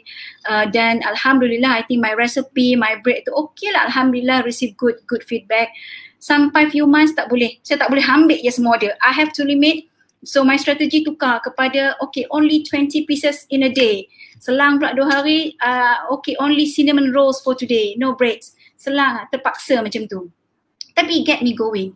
Uh, sampai satu masa Ahad kan Sabtu Ahad kadang tu nak rehat kan tetapi betul lah bila kita seronok berniaga tu bila customer minta tak sampai hati nak nak reject uh, buat jugalah satu ahad kan uh, buat juga for example cuma bila pandemik saya uh, pause kejap masa tu bulan puasa bulan puasa kononnya nak beribadah lah sikit kan baru bangun pukul 4 buat roti baru saya bangun berkiam mulai pukul 4 saya stop sekejap and then kita PKP sampai sekarang agak slow yang agak slow nak keluar beli barang susah and all that so that's an example yang saya bagi how it affects businesses sebenarnya macam saya saya ada uh, apa ni orang kata full time job. Tapi kalau hmm. yang business tu macam tu lah sebenarnya ter, tersekat lah sedikit nak deliver and all that. Hmm, betul betul. Jadi uh, kat, kat sini ramai uh, sebenarnya uh, mahasiswa-mahasiswi yang sebenarnya mungkin dah ada small business cuma tak tahu macam mana nak maintain dan kadang-kadang kita tersekat dengan masa nak buat assignment lagi, nak belajar lagi. Uh, jadi kat situ kena pandai dan kena yang macam doktor kata kena ada semangat yang penting sebenarnya. Okay, soalan yang kedua. Uh, betul. Soalan yang kedua daripada Nurul Fahana Ahmad uh, Hazli. Dia tanya, salam doktor. Berapa lama ya proses untuk dapatkan lesen after register? Okay, thank you Nurul Fahana. Tak lama. Dalam dalam less than a week. Kalau documentation yang you bagi tu cukup, dia minta documentation dia sebenarnya ah you kena siap dengan you punya nama company yang nak register tu uh, dan make sure nama company trade name dia tak samalah ah dengan nama-nama company yang telah sedia ada didaftarkan dia cepat je. Ada yang tiga hari ada yang empat hari seminggu and less you akan dapat via email. Ah, ini kalau you register dekat easy business tu lah. Kalau dulu kita kena pergi ke SSM tapi now easy business saja. Tak tak lama lah yang tu. Then you ada ah, jalanlah business tu. Hmm, betul-betul. Uh, okay, soalan um, ada banyak soalan juga ni. Uh, soalan yang ketiga daripada Ezat Uwais Muhammad Zafri. Salam, Assalamualaikum doktor. The question is, the rent free is in my head is how to gain trust from people by the beginners. Hmm, menarik soalan ni. How, maksudnya how to gain kot? How to gain trust? How to? Oh faham. faham Maybe soalan. gain trust. Okay, faham. Gain trust dia being a beginner in the business macam mana kita nak pastikan orang nak belilah produk kita. Yeah, so betul. comes to basic. Produk you kena satisfy consumer. Produk you kena solve consumers problem. Produk you kena apa yang customer nak lah basically dia bottom line dia memang tu. Kita jangan buat produk yang kita ada capability. For example, tadi saya buat roti lah kata kan, shock punya shock lah sebab saya rasa saya terror buat roti. Tapi market ni nak ke? Tanta dia nakkan uh, apa ni, uh, lasagna ke pula kan yang lebih kepada western food market saya lah for example. Jadi uh, gaining trust tu memang through your product you have to launch your product yang ada customer nampak benefit tu. Customer customer nampak produk tu memang berguna pada dia orang. Dan you punya market tu jangan kecil sangat. Maksud kecil tu adalah janganlah you buat produk tu untuk Seri Iskandar market saja. Students. Students pula tu architecture sebab you nak buat produk yang dia orang pakai lah kata for drawing and all that. Jangan kecil sangat. Biar market you besar yang yang meluas lah. Ya, banyak kategori consumer boleh pakai. Jadi again start with your product benefits product value tu dulu. Memang customer nampak okay lah pakai produk ni kita punya function lebih cepat kita boleh buat kerja ni lebih cepat. Atau pakai produk ni memang seminggu fair lah kulit saya for example kan? Uh, dia dapat benefit tu dia akan spread good word of mouth dia akan repeat purchase and lepas itu you gain their trust already. Lepas tu dah isu, isu lain lah. Bila you dapat demand tinggi dapat trust dia orang you should be able to fulfill their dia apa orang kata sales order. Itu pun satu. Another, another different issue. Kan kita buat bagus-bagus promo punya bagus tapi bila order datang seribu unit dengan duit tak cukup masa kita tak ada nak buat kita terpaksa reject reject reject order orang jadi fed up. Orang jadi fed up dia pun tak berapa nak lah. Dia switch to other competitor. Lose lah customer kat situ. Right? Hmm, okay lagi uh, macam doktor kata tadi uh, mungkin um, dari segi website tu pun penting juga. Mungkin uh, orang-orang order tu customer order terus boleh dapat uh, ada data dekat situ. Jadi dekat situ pun uh, sebenarnya customer pun ada gain trust kat situ dengan um, penjual. Okay, soalan yang keempat. Okay, uh, daripada ya? Yeah? saya nak pick up sikit on apa yang cakap tu. Memang betul okay. sangat ya zaman sekarang di website tu di Facebook and so on uh, reputation reputation about your brand, your product, your brands and your company sangat cepat jalan dia. Jadi kalau orang you you, you open biasa, you baca dia punya komen-komen tu, ha, kena hentam sekali, memang kan bila you kena hentam sekali tu memang dia bagi negatif negatif image pada you. Eh. Jadi nak tak nak kena jaga, kena layan customer, kena attend. Kita pun biasa, kita tanya soalan, uh, saya, saya hairan lah sebenarnya kenapa marketer ni, uh, dia buat iklan di Facebook, di Instagram tapi dia tak letak harga, details terpaksa PM, PM, PM. Kenapa nak PM? Why don't you just put all the information there? Dia nak beli, dia WhatsApp. Ni kena PM. Mm-hmm. Kan lah. Right, yes. Kadang-kadang bila nak layan PM daripada customer tu makan masa juga. Jadi um, kena pandai sebenarnya. Betul. Kalau lambat jawab, customer pula macam uh, tak percaya lah. Betul. Okay, uh, soalan yang keempat daripada IZNN underscore. Salam doktor. So is it necessary to get a business license even though kita baru start up the business? Like kita nak try and error dulu business tu. Hmm. Okay. Okay, sebenarnya kalau you rasa you belum ready untuk register your business dan dapatkan lesen perniagaan, tak apa. Boleh aja you jalankan dulu. You jalan without without registration boleh. Cuma bila you register ke perniagaan, you akan dapat banyak benefit. You akan dapat banyak benefit, you akan dapat banyak assistance. Macam saya bagi contoh simple tadi, you nak rentas daerah, you boleh. Kan? Ha, jadi tak apa, uh, sebenarnya tak ada apa. You register je, dia tak ada penalty, tak ada apa. You register tapi slow, you gedek-gedek-gedek slow. Tak apa, tak ada masalah. Uh, silap-silap bila you nak masuk exhibition lah kata kan. You nak dapatkan sedikit subsidi, you nak masuk pitching competition, uh, hosted ataupun organised by mana-mana agensi, uh, you akan lebih confident untuk masuk. You ada nama syarikat, you ada nombor pendaftaran syarikat. Jadi boleh untuk you tak mendaftar sebab you rasa tak confident, boleh. Tetapi kalau you dah jalan tu, eloklah mendaftar. Banyak benefit boleh dapat bila you mendaftarkan perniagaan tu dia macam uh, buat bangunan lah. Kena ada asas dahulu barulah boleh bina. Macam perniagaan ni kita kena ada daftar dulu. Uh, asalkan ada asas dulu daftar SSM lepas tu nak maju ke depan uh, dapat apa ni uh, lebih maju lagi bisnes kita. Dan maybe mungkin boleh tambah ini boleh tambah itu. Mungkin ada kelebihan di situ. Okay, um, soalan ada soalan lagi ni. Soalan yang kelima daripada Alif Anwar Salam doktor, saya ingin bertanya adakah berbaloi apabila sesebuah small and medium business itu melaburkan duit kepada advertising? Memang berbaloi. Bukan lagi memang berbaloi. Marketing and advertising memang you kena buat. It's a compulsory hmm. activity. Uh, di awal perniagaan lah selalunya uh, kalau you dah belajar product life cycle, business life cycle di introduction stage tu memang lots of uh, promo, promo, promo, advert. Cuma bila you lah kata you ni masih small business, pilihlah channel yang tak mahal sangat. Jangan tiba-tiba nak buat uh, those poster, billboard memang impossible lah kan. Jadi memang start online platform. Start online platform, start through WhatsApp, Instagram yang benda-benda free dulu kat situ. Tetapi uh, bila you dah sampai agak stable, uh, sales dah masuk uh, uh, apa ni dah masuk sebulan, dua bulan, tiga bulan sebelahkan sedikit cost untuk uh, promotion uh, advertising and promotion sebelah dan you boleh orang kata uh, systematically plan for advertising and promotion. Now advertising ni kita nak inform kan kita nak inform customer kita. After a while orang duk beli roti kita tu uh, dia mungkin lupa. Yalah bukan semua orang nak beli roti selang sehari, selang sehari kan. Kadang-kadang lah stop lah pula, beli benda lain pula. Sebulan dia orang lupa. So advertising tu memang kena berjalan sentiasa. The first one you want to tell them I have this bakeries, breads yang macam-macam benda.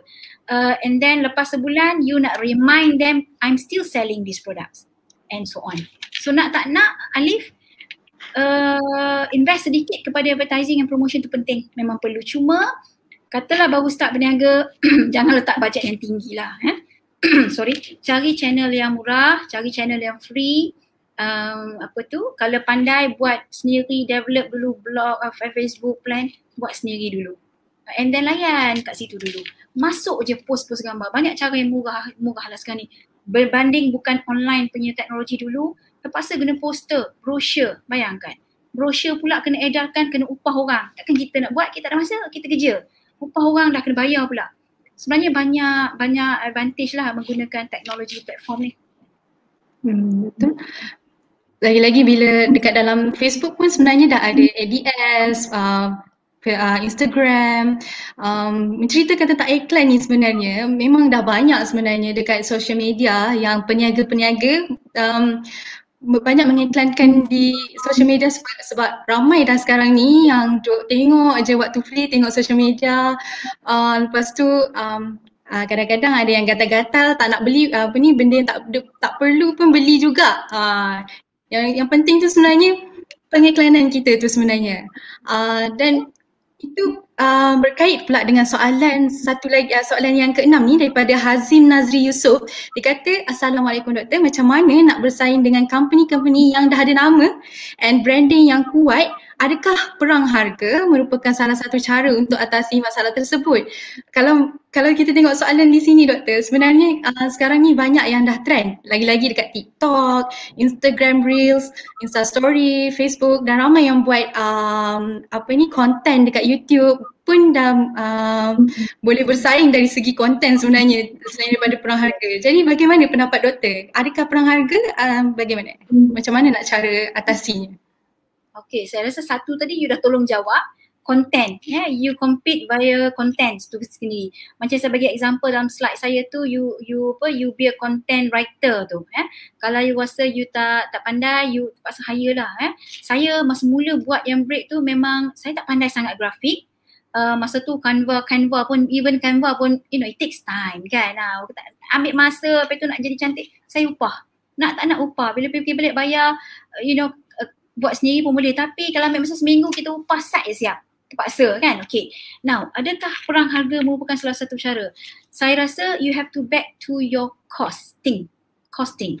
Jangan ikut sangat uh, competition based pricing for a new startup. Sebab apa uh, you tak tahu your competitor tu dah berapa lama dalam industri dah berapa lama berniaga dan you tak tahu how successful they are dan you tak tahu cost dia berapa dia dapat supply daripada mana. Jadi nak ikut perang harga pun tak boleh. Tep, uh, nak tak nak you start dengan costing you, cover dulu cost. Uh, cost tu itu that's another topic yang you kena belajar eh, dalam financial. Kira cost, okay. Selepas you kira cost, you nak mark up margin tu that's up to you. Berapa banyak untung yang dapat. Yeah, so back to your punya marketing knowledge. Sama ada you nak jual, you nak orang kenal dulu produk you ataupun you nak terus dapat untung short term profits. Eh, so ini tolak tepi, cost dah kira. Kalau you nak short term profits, markuplah tinggi sikit. For example, you boleh markup 100% cost. Contoh cost you RM5 buat produk tu. Uh, 100% daripada situ 5 plus 5 you jual dengan RM10. Tapi kalau itu kalau nak ya, profit saya eh, tapi kalau you punya aim ni biarlah orang beli lu produk kita. Biar orang kenal lu brand kita. Biar orang merasa makan produk kita. Jadi mungkin untung yang you ambil 20% dulu ke? Example 30% or 50%. Rule of thumb orang kata untung dia ambil 50% dulu. Jadi RM5 cost 50% daripada harga cost lah RM2.5. So you akan jual dengan harga RM7.5. Biarlah competitor, competitor berjual jual dengan harga RM10 ataupun dia jual harga dengan RM5. Sorry uh, you have to follow your costing first baru nak mula berniaga. Selamatkan dulu sekarang kita ikut orang lain jual dengan harga RM10 you ikut ya sebab sekarang tinggi sangat ni pula tapi tak cover cost susah pula eh. Betul. Sebenarnya apa ni um, perang harga ni tak adalah masalah uh, dari segi perang harga ni sebenarnya uh, company-company ni memang ada yang jual mahal. Mungkin ada customer yang uh, lebih suka dengan harga yang lebih mahal. Mungkin mereka akan rasakan ni lebih berkualiti. Tapi bagaimana sebenarnya balik kepada yang doktor cakap tadi. Um, kita nak gain trust uh, customer tu mesti macam perlu uh, melalui semangat kita sebenarnya. Uh, dan juga bagaimana pengiklanan kita dan website kita. Kadang-kadang bila kita confident, kita customer kan, kita confident, kita trust dan brand tu mahal pun kita beli. Ya, mahal pun kita beli kan. You tengoklah kosmetik yang you biasa beli ataupun you pergi kepada restoran, ulang restoran beli makan itu because you dah tahu situ memang sedap makan. Kan? So tetapi macam soalan soalan yang tadi Alif tu kan. Nak gain trust tu dia dah. Itulah dia. Dia Hmm. balik kepada produk tu dulu. Offer good products tu. Hmm, betul. Um, soalan, uh, ada lagi soalan ni doktor uh, daripada Syafiq Suhaimi. Boleh. Salam doktor, boleh bagi sedikit tips tentang money management? Uh, ini uh, macam doktor dah bagi uh, tahu tadi sebelum nak start business ada business plan tu. Jadi adakah penting tips, uh, adakah um, bagaimana nak buat uh, money management ni sebenarnya yang yang terbaik? Okay. Uh, salam eh. Saya assume you kata money management ni adalah managing you punya finance lah for your business. Bukan personal lah kot. Agaknya lah kalau, kalau faham saya. Because we're talking about business kan. Jadi uh, Melayu ni biasa bila dia dapat untung dia belilah. Belilah dapat untung berniaga dengan beli. Tapi kalau saya, konsep saya kan bila you dah dapat first sale, second sale, tolak dulu you punya cost modal tolak dulu ke tepi sekurang-kurangnya untuk bulan kedua berniaga, kos untuk buat produk you bulan kedua covered. Nah untuk bulan kedua berapa kos dia sebab you tak tahu demand tak masuk lagi kan. Jadi sebab itu pentingnya you buat sales forecast. Sales forecast macam saya bagi tadi kan, saya boleh ambil li- 10 biji je sehari, 10 biji, 10 biji, 10 biji. Jadi saya cukup seminggu saya dah dapat sales. Untuk minggu depannya saya boleh buat 50 biji je roti lah kata kan. Jadi make sure daripada untung saya dapat, saya tolak tepi untuk cover cost dulu. Nah, itu baru cost nak buat rotinya. Belum lagi cost nak deliver COD, COD tu. Minyak, duit pergi beli barang and so on. Selepas itu, you akan dapat untung dia lah. Eh, orang kata untung bersih dia tu. Eh, untung bersih, terpulanglah pada pada you, orang kata sebulan dua bulan mula berniaga nak berbelanja sedikit boleh. Orang kata berkatnya kalau you orang ni belum kahwin, you bagi kat parents ya. Ataupun kalau macam saya dah kahwin, belanja family from the first untung dapat tu. Belanja anak-anak, belanja family kan. Dan lepas tu dah belanja selalu, terbelah lah lah simpan untung tu. Kan, ha, jadi kalau saya, sebenarnya saya berniaga tu saya beli emas. Sebab itu je caranya untung tu. Saya simpan cash dalam akaun tu sekarang, eh, Shopee, Lazada, kita pun nak tengok saja kan. Uh, saya pun jenis orang digital kan, online-online ni. Jadi untung tu sikit ke banyak ke saya beli emas yang sikit-sikit lah. Satu gram, satu gram. Jadi dia akan kumpul Alhamdulillah lah. Jadi you tak belanja lah duit tu. Uh, katalah you nak expand dia punya business nanti Syafiq, you keluarkanlah sikit duit tu eh, and then you you expandkan your business. Uh, example eh, example bila saya mula berniaga roti tu uh, pakai microwave je. Eh, after a while, yeah, then invest sedikit beli oven besar sikit. Beli oven besar means you can bake more. When you can bake more, you can fulfill more orders. Uh, kan, ah, macam tu lah. Lepas tu after a while, simpan dah simpan, beli pula mixer, mixer heavy duty punya mixer. Yang terus boleh banyak lah, contoh 10 biji sekali boleh buat. Macam tu lah. Eh. So, uh, knowledge Syafiq plus uh, proper proper and strict planning lah for you to manage your financial. Betul, kalau tak ada planning tu susah tu. Nanti main buat je, um, rugi dekat hujung-hujung nanti pun susah. Okay, um, ada lagi soalan daripada Nurul Farah Izani. Assalamualaikum doktor, apa kepentingan dan kenapa wajib suntikan typhoid untuk um, bahagian F&B? Sebab sekarang orang ramai uh, start business dari rumah and ada certain yang tak aware pasal injection tu. Okay. Um, yes, uh, sebab uh, semua orang ni bila dah berniaga makan dia buat je kan. Tetapi suntikan typhoid ni penting tapi especially uh, apa ni untuk mengelakkan penyakit-penyakit lah. Eh, basically untuk mengelak- mengelakkan penyakit. Bila uh, siapa yang mendaftar dengan SSM memang wajib. Yang mendaftar dengan mendaftarkan perniagaan di bawah kategori F&B memang wajib ambil typhoid. Um, dan uh, apa ni itulah kepentingan ya. Saya terus menjawab soalan adik tu sekali ya. So itulah dia ke- kepentingannya untuk menjagakan kebersihan, keselamatan produk makanan yang kita buat. Um, ramai yang tak aware sebab uh, mungkin kurangnya pengiklanan, kurangnya information yang tersebar kat, kat media masa lah, kat social media ataupun media uh, tentang perlunya ada injection-injection tu untuk mengendali makanan. This is a good question ya by you, uh, Farah eh, Farah dan Adib on this. Sebab banyak banyak yang entrepreneur atau banyak new startup business mula dengan perniagaan. Ya. Okay. Okay. Alright, um, kita pun dah ada lagi soalan ke? Kita check jap. In, rasanya ini adalah soalan yang terakhir untuk uh, petang ni. Okay, uh, ada lagi doktor? Uh, this is the last question. Um, Assalamualaikum doktor, ni daripada Atir Hanif. Doktor, saya nak tanya if kita dah iklankan produk kita berhari-hari, malah berbulan tetapi tetap tiada sambutan. Apa yang perlu saya buat ya? Uh, yang ini menarik ni. Mungkin ada yang uh, student uh, macam mana ni dah uh, shop sendiri ke uh, iklan-iklan tapi tak ada orang nak beli pun. Macam mana tu doktor? Apa yang dia, uh, apa Atir Hanif ni patut buat ni? Okay, that's a good question and yes, it's an interesting question. Sebenarnya ada banyak faktor saya rasa kenapa uh, tak dapat sambutan. Tidak semestinya produk you tak bagus. Mungkin you menggunakan channel yang kurang tepat untuk you buat iklan tu. Uh, sebab itu you kena kenal dulu, uh, kalau you belajar you kena kenal dulu customer you siapa, market analysis tu, target market. Ada, kalau market you bukan di kalangan young ones, youngsters macam, macam you all, dia orang tak tak ada dekat internet setiap masa. Dia orang bekerja, dia orang baca newspaper, printed newspaper. Dia orang pergi kedai beli. Kan? Jadi kalau you you buat iklan di online, tak jumpa kan dia orang. Eh, tak jumpa sebab itu bukan market dia. Kan?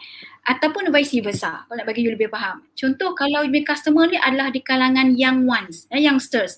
Jadi buat iklan online. Buat iklan online, lepas tu make sure you masuk ke channel yang betul. TikTok, Reels tu memang salah satu channel kan. I think TikTok memang top lah sekarang ni kan. Jadi uh, mungkin itulah ya. Uh, I think Facebook among youngsters dah kurang. Jadi mungkin you kena pilih channel yang betul yang pertama. Channel, platform yang betul bila you publishkan you punya iklan tu. Sama ada iklan tu kena pergi offline ataupun buat di online.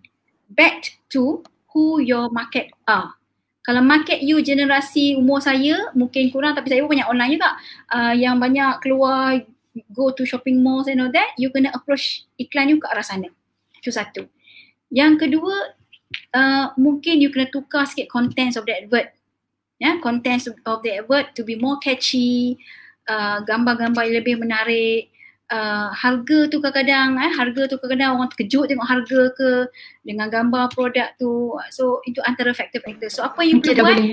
ubah sedikit lah kot. Ya? Uh, ubah sedikit you punya approach untuk approach you punya market tu. Ha? saya ada? Uh, okay uh, um, ada lagi soalan? Banyak soalan doktor ni untuk hari ni. Okay ada lagi? Boleh Sekejap. Oh tak ada, tak ada. Sorry, sorry. Ha. Soalan uh, yang last tadi ialah Atira Hanif. Okay, betul lah apa yang doktor cakap tadi. Kita perlu, um, sebenarnya banyak yang doktor kongsikan uh, bagaimana untuk start up business ni. Uh, tak semestinya uh, apa ni uh, bersaing dari segi harga tapi yang penting ada cara lain sebenarnya uh, yang boleh uh, untuk para pelajar sebenarnya uh, untuk start bisnes kita. Okay, um, nampaknya uh, kita Alhamdulillah kita dah berada di penghujung program dengan tamatnya sesi perkongsian tadi oleh Dr. hari ini. Uh, saya ingin mengucapkan jutaan terima kasih kepada Dr. Hazli Harun kerana sudi menjadi penceramah kita dalam program Webina Keusahawanan Startup for Youthpreneur serta memberi perkongsian yang sarat dan dengan manfaat bukan sahaja kepada diri saya malah kepada penonton yang menonton live kita hari ini. Baiklah, sebelum saya mengakhiri majlis ini, saya mewakili jawatan kuasa program Web Ina Keusahawanan Startup for Youthpreneur ingin menyusun 10 jari memohon maaf atas barang kesilapan serta kekurangan yang berlaku sepanjang majlis ini. Oleh itu, kepada para hadirin sila lihat di ruangan komen anda kami telah kongsikan satu pautan satu uh, dua pautan sebenarnya Google Form diminta para hadirin untuk mengisi maklumat masing-masing di Google Form tersebut untuk mendapatkan isi jil penyertaan anda bagi program petang ini dan ada lagi Google Form yang perlu anda isi untuk survey. Dengan ini kita akhiri majlis ini dengan tasbih kifarah dan surah